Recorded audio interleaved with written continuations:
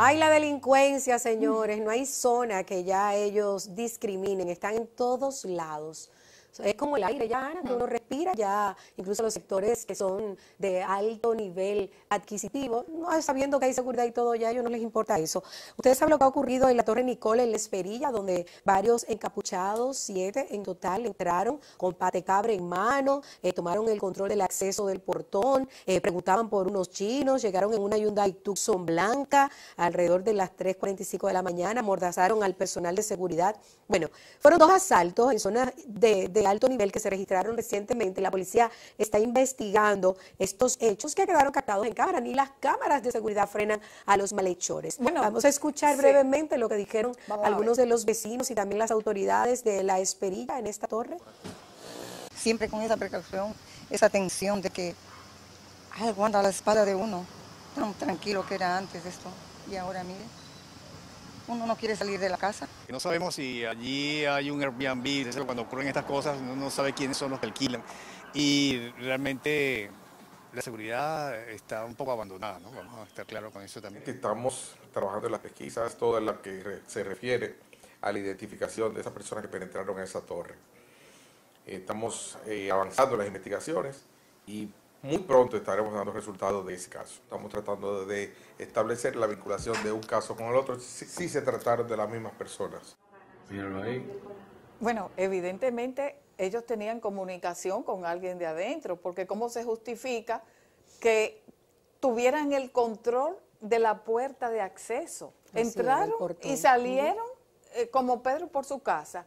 O como dijo la señora, si es una torre donde hay personas que alquilan sus apartamentos a terceros eh, por corta duración, bueno, pues ahí se cuela de todo.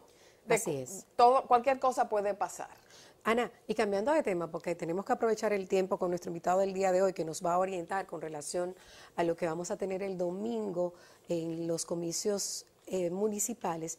Hay una situación que le estamos dando seguimiento desde la semana pasada, el joven que embistió la puerta en el Palacio Nacional, que dejó a dos policías heridos, incluso él mismo también llegó a estar interno. Los parientes que han llegado a él aseguran que el joven tiene padecimientos mentales. De hecho, hablé, Ana, con una persona cercana a esa familia y me explicó que no solo él en su familia tiene padecimientos mentales, sino que hay varios trastornados en su familia, su papá, creo que un hermano y vamos a escuchar lo que nos dijeron ellos, esto con relación a las posibilidades de que se le condene como una persona lúcida. Aquí hay que poner atención porque si se confirma como está la hipótesis de sus familiares y allegados de que este joven tiene problemas mentales, John Raymond Durán, obviamente es tratamiento médico que debe recibir, más no eh, una situación que vaya a la justicia y se le dé el tratamiento como una persona que tiene lucidez mental. Escuchemos. Nuestra familia, Durán Villar, le pide al honorable presidente de la República, Luis Abinader, su intervención para que a mi hermano John Raymond Durán Villar se le haga un estudio mental. Que se le dé la oportunidad profesional a John Durán Villar de ser evaluado psicológicamente y ahí entonces saldrá eh, la verdad sobre la situación penosa por la que está pasando esta familia. No se encuentra bien psicológicamente. Actualmente yo creo que no es difícil, Ana, hacer una evaluación. Claro, no hay que ser científico de la eh, pero eso se cae de la mata. Por Dios. Mira, primero, el presidente Abinader ni se encontraba en Palacio. Si hubiera sido un plan para... Aún encontrándose, si es una persona que mentalmente no está en su Exactamente.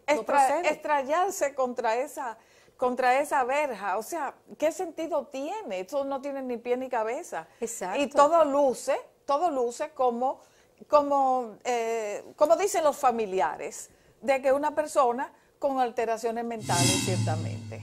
Y la familia también, algunos de sus miembros tienen también este tipo de padecimiento mental. Es fácil de confirmarlo, simplemente una evaluación. Una persona que no tenga sus cinco sentidos bien compuestos, que no esté en su tino, no merece tener el trato de, que, de alguien que conscientemente incurre en un acto de este nivel.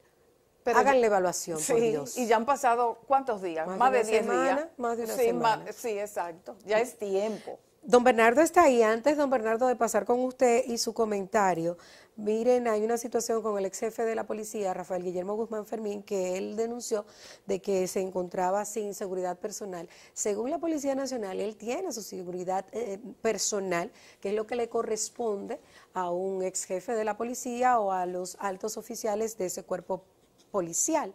Sin embargo, él insiste en que no, en que se la retiraron sus escoltas y que él se encontraba desprotegido.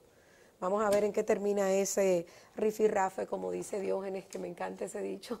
Cuando la gente sí, se la están tirando uno con otro. Vámonos con don Bernardo Vega y su comentario del día de hoy.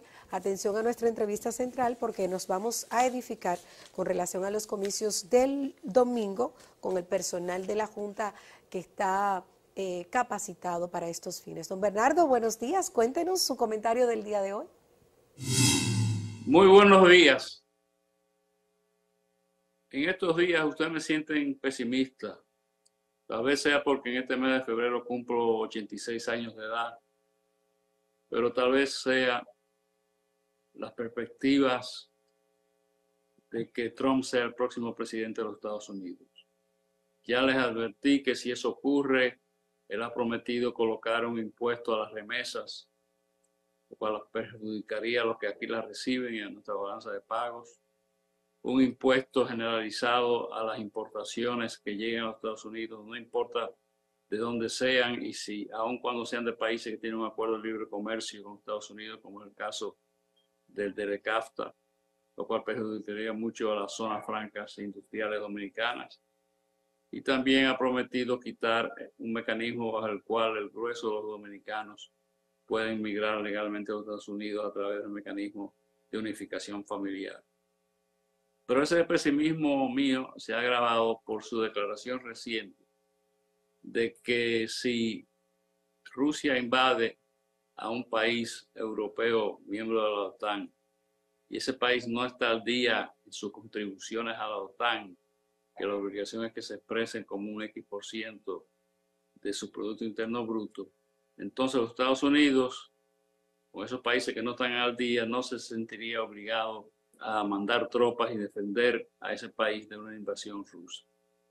Y eso es terrible porque significaría que se reproduciría lo que ocurrió cuando Hitler invadió en 1939 a Europa del Este.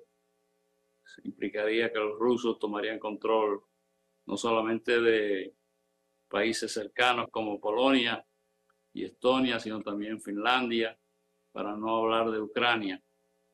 Y una situación de guerra de ese tipo afecta a todo el mundo. Aquellos que ven la incertidumbre de la guerra no van a ponerse a hacer viajes de turistas, sino que van a ahorrar. Aquellos inversionistas extranjeros pensarán dos veces antes de invertir y esperarán momentos más tranquilos. Pero yo pensé que ese pesimismo mío de los 86 años de edad era algo puramente personal, hasta que llegó a mis manos un libro de un periodista inglés, aunque nació en Europa, en- nació en Austria, Martin Wolf, que es el principal columnista del muy prestigioso Financial Times acaba de escribir un libro que es el que estoy leyendo y que me pone bien pesimista, llamado La crisis del capitalismo democrático.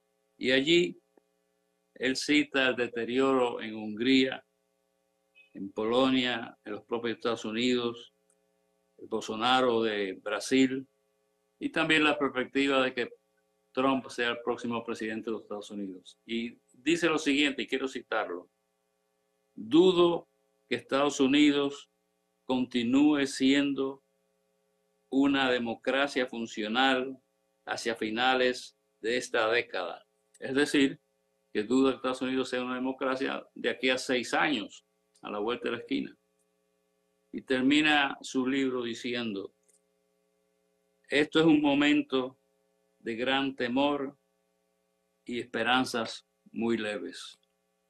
Y así es, si Trump llega a ser presidente y permite a Putin invadir Europa del Este, si Netanyahu sigue ahí con sus ideas de extrema derecha en Israel, eh, el mundo va a enfrentar situación que no hemos visto desde la Segunda Guerra Mundial y afecta a países pequeños como el nuestro, por más lejanos que estemos. Durante la Segunda Guerra Mundial, nosotros tuvimos escasez de alimentos aquí, aunque no mandamos tropas a la guerra. Y ustedes que aprovechen estos días, oigan al presidente el 27 de febrero, vayan a votar este domingo y que las pase bien. Hasta luego. Al volver en la entrevista central del despertador, conversaremos.